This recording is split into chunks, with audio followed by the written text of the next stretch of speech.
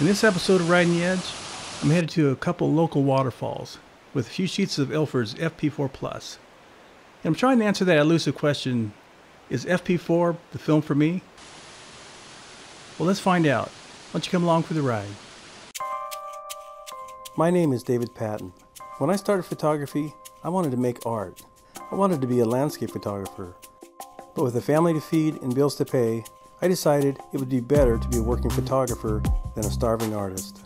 So I took a job as a photojournalist. 25 years and thousands of assignments later, it was time to go back to my first love. It was time to follow my passion. Come along on my journey to become the best black and white photographer I can be.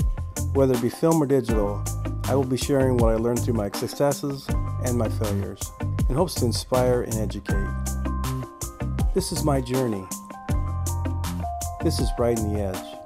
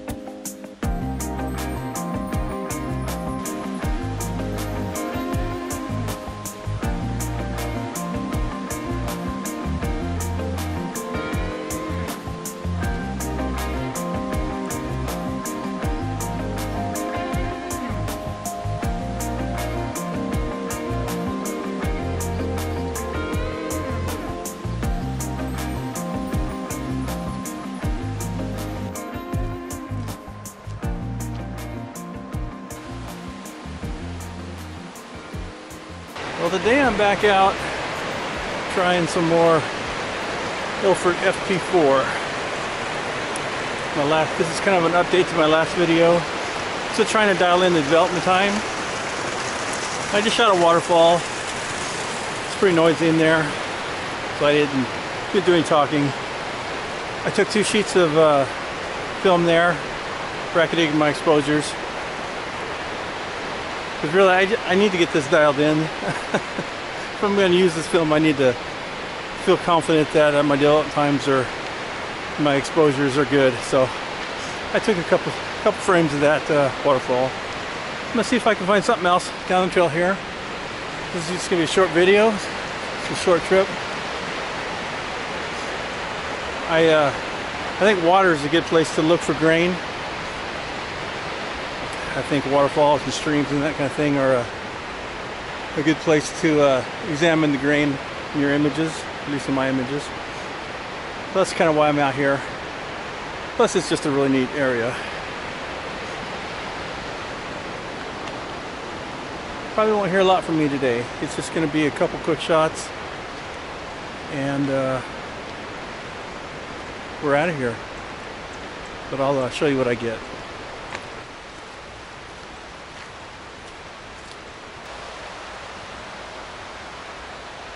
In my last video, I uh, shot a few sheets of this FP4 and I wasn't very happy with the development times. Some really thin negatives. So I'm kind of reserving my judgment on this film until I actually get a negative that I feel represents what this film can do. what I'm expecting from this film is more of a, more of a classic look, classic black and white. It's because it's an older style film, so I'm not sure if that's for me or not because I've I've only been shooting T T grain films for quite a while. So shooting something that's uh, more of a throwback in large format might be kind of cool.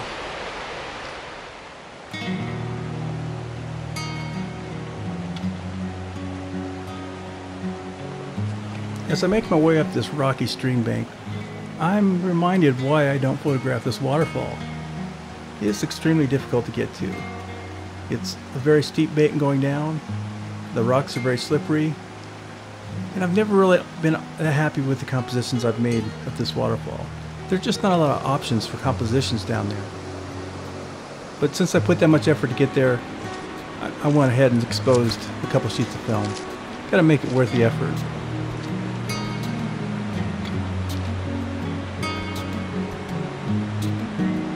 Now that I've got a few shots of FP4 exposed, I think that's what I need to uh, see what this film can do.